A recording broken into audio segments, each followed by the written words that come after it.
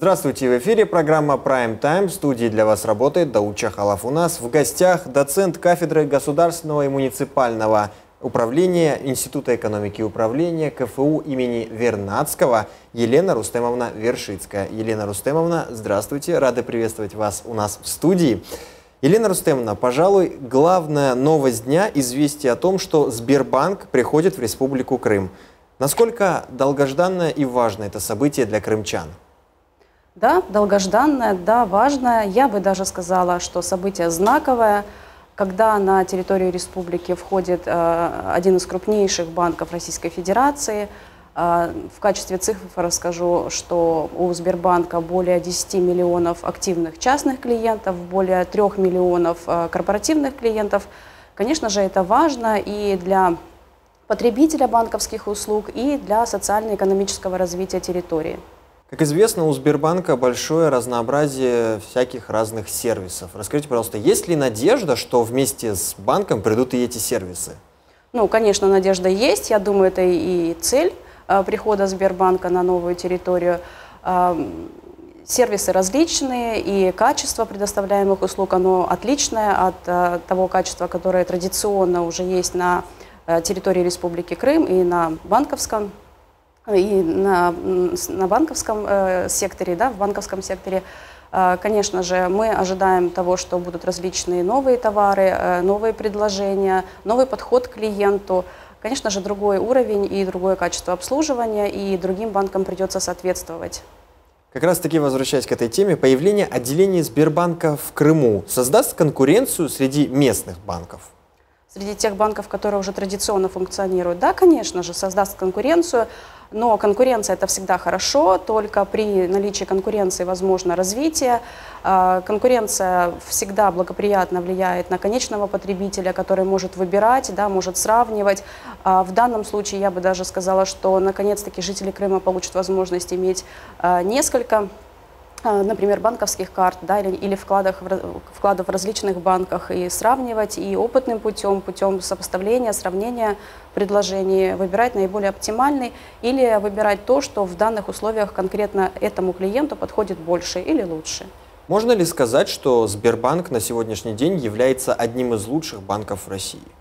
Как минимум, это один из самых крупных банков России. Конечно же, по тому спектру предоставляемых услуг это флагман на рынке э, банковских услуг в Российской Федерации.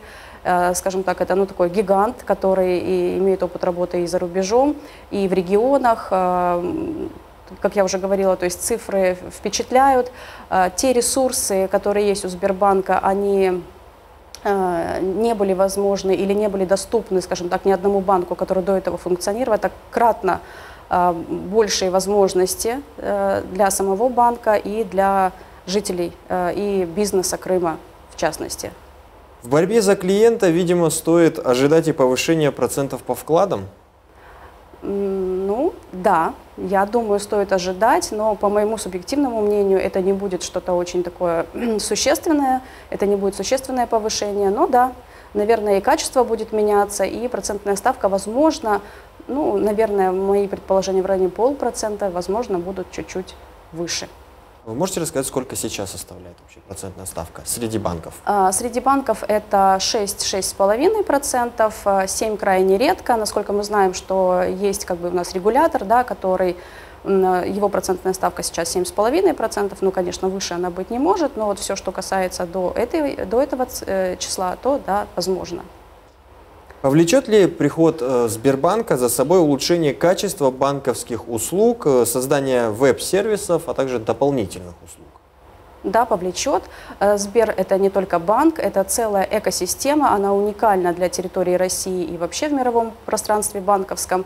Конечно же, тут будет и электронная коммерция, и развитие телемедицины, и развитие образования. Это целый спектр услуг, и это развитие э, и социальное, и экономическое как Республики Крым, так и города Севастополя. Можно ли говорить о том, что появление нового банка на территории республики – это дополнительный финансовый инструмент по привлечению инвестиций? Да, Инвестиции – это общеизвестный и признанный драйвер э, развития экономики не только в стране, но и в регионе в частности. Конечно же, э, тот банк, который имеет э, многолетний опыт э, имеют имя, и инвесторы, мы знаем, они всегда идут как бы не только в регион, но обращают внимание на репутацию. Конечно же, да, это будет благоприятно сказываться и на развитии инвестиционного климата Республики Крым. На ваш взгляд, сколько времени потребуется Сбербанку для начала полноценной деятельности в Крыму? Угу. Ну, на сегодня мы имеем информацию, что в ближайшие полгода будут функционировать банкоматы э, и терминалы. Э, отделение планируется в, э, в ближайшее время в крупных городах Крыма открыть. Если мы говорим вот про всю эту уникальную большую экосистему, то вопрос очень сложный, то есть тут есть много существенных факторов, которые могут аккумулироваться и накладываться друг на друга, но оптимальный вариант это около года, ну, наверное, может быть, чуть-чуть больше, в зависимости от внешних и внутренних условий. Придется ли крымским банкам приспосабливаться под э, стандарты Сбербанка, ведь это все-таки тоже затраты на модернизацию, как вы считаете?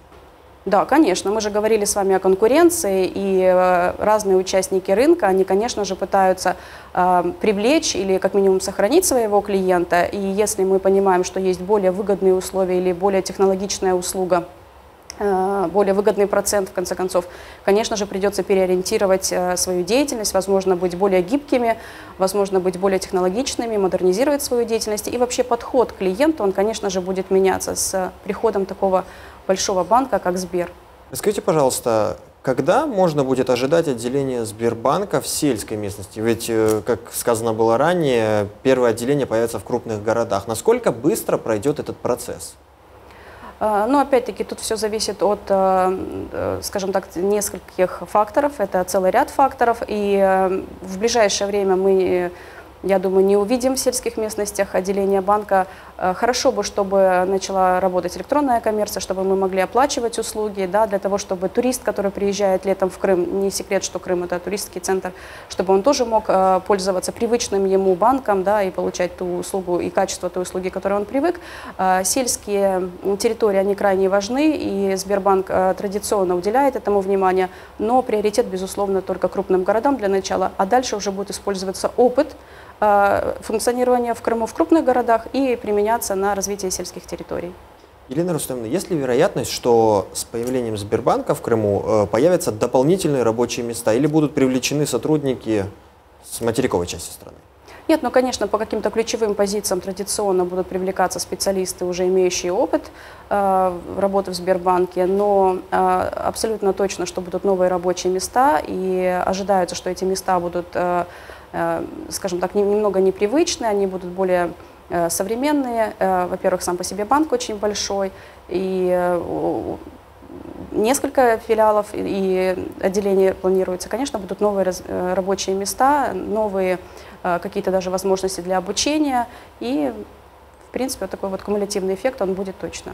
Хотелось бы узнать, э, Сбербанк это все-таки большой бренд, который известен по всей стране. Да. Есть ли вероятность того, что из крымских банков будут э, уходить клиенты в, именно в Сбербанк? Ну, тут все зависит от тех предложений, которые банки, которые на сегодняшний день работают в Крыму, готовы будут предоставить, или насколько они гибкими будут, насколько быстро они будут отвечать на изменяющуюся внешнюю и внутреннюю среду, насколько они будут анализировать хорошо те предложения, которые вот флагман банковских услуг готов предложить крымчанам, и насколько быстро они готовы адаптироваться. И опять же, вы все-таки за здоровую конкуренцию?